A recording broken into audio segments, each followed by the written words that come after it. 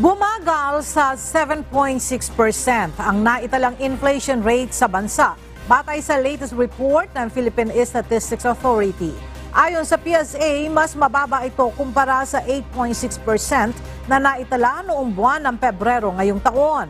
Paliwanag ni National Statistician Dennis Mapa, ang pagbaba ng trend ay bunsod ng mas mababang inflation rate sa food at non-alcoholic beverages. Gayun din ang transportation, housing, tubig, kuryente, langis at iba pang factors. Ang 7.6 inflation rate na naitala noong Marso ay pasok sa 7.4 hanggang 8.2% na projection ng Bangko Sentral ng Pilipinas.